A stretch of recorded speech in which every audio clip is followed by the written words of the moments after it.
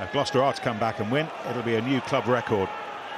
Never come back from more than 16 points down at half-time in the Premiership. 16-0 down to Rotherham 18 years ago in 2004.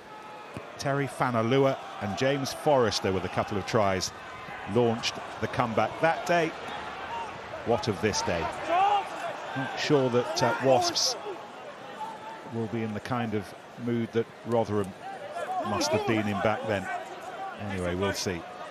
Wasps immediately on the front foot again with Willis. He's got his brother Jack for company now. Tackle! Jack Willis on uh, just before half-time for Brad Shields, who um, looked like he got a thumb injury. McDonald and Atkinson, who was one of the star performers, wrapped up but not for long by Clark. That's been taken back in.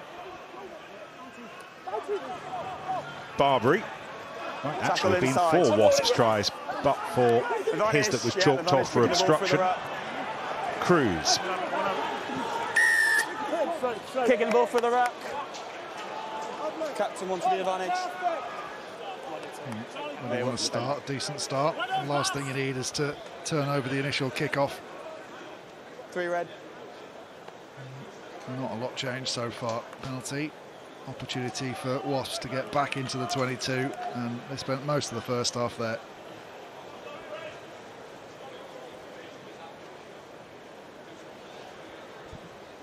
Looking down our, our, our, list of numbers, Benny, in the commentary box at half-time for um, for Gloucester Hope, there ain't a great deal down in all the all the big ones. Wasps three times as many carries, three times meters made, very high game line success. Gloucester forced into three times as many tackles. The young debutant, actually, Harry Taylor, has made 15 in that first half. Just Atkinson just starting to limp around a little bit. He's got his right knee quite heavily taped. I hope he can just run that off. Kieran McDonald, uh, who has stood out on his debut for Wasps so far, and Cruse in control of the ball. Dan Robson aware that the right-hand touchline is getting closer. That very, very short blindside still being patrolled by Ollie Thorley. Robson goes the other way and Kibarigi three metres short. Robson gets it away quickly. There was a real opportunity, but Spink couldn't gather. And now the opportunity. Rees Zammit on his way. It's a real race. Rees Zammit chasing hard. Can anyone catch him? He has run from one side of the pitch to the other. He's pretty much run across the whole city of Gloucester. Always thought he was the favourite. It looked a decent chase at one point, but we're dealing with Louis Rees Zammit and lightning strikes again at the start of the season. That's a great finish because, as you said, under huge pressure initially from Josh Bassett, but the pace of Thorley as well to get back there. There's Thorley there, sorry, Crossdale to get back there. Just look at the angle that he has to run. He uses every inch of the turf to be able to get to that touchline and then straighten up at the end just to be able to dot over. Brilliant battle between those two, Crossdale and Rees Zammit at the end. Tries good, tries good. But what a finish and Lee Blackett will be absolutely going bonkers because it could so easily, if they'd made the right decision, been a five-pointer the other way. They don't, and suddenly they give Gloucester a little tiny glimmer of hope and a foothold back into this game.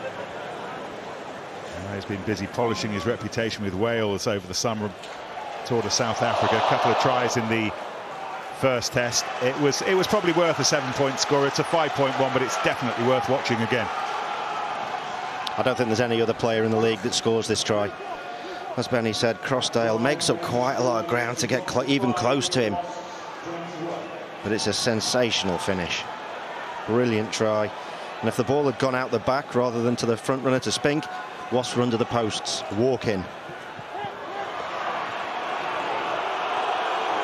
Well, that, uh, that may or may not be a big, big moment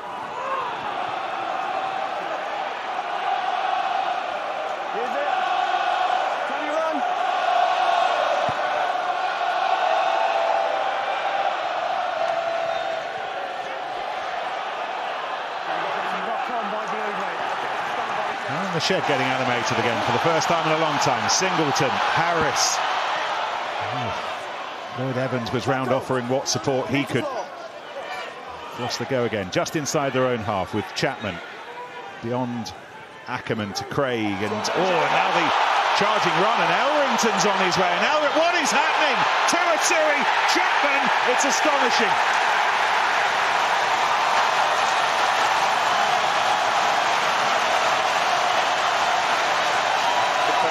Oh, how one moment in a game can change everything.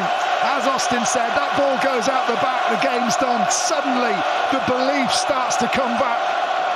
And Elrington, who's been one of the only highlights for Gloucester today, cuts a brilliant line, stays alive, knows exactly where Tuisue is. Perfect timing of the pass, and Tuisue drags in two defenders, just holds Crossdale enough that he can't shift off.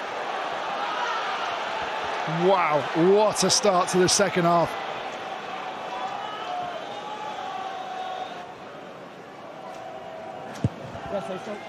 Hastings conversion.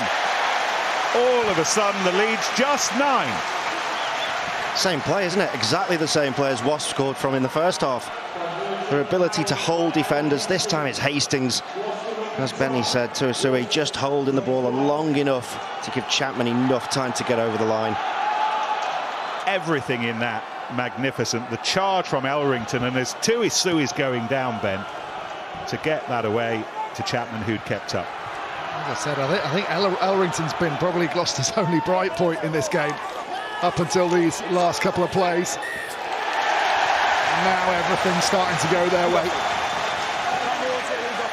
You just see, we showed this in the first half. Here's the try again, Nick. You get Hastings out the back, just delays the ball. And again, Wasp defenders this time looking at two defenders, two attackers. Both, de both defenders over-reading the play.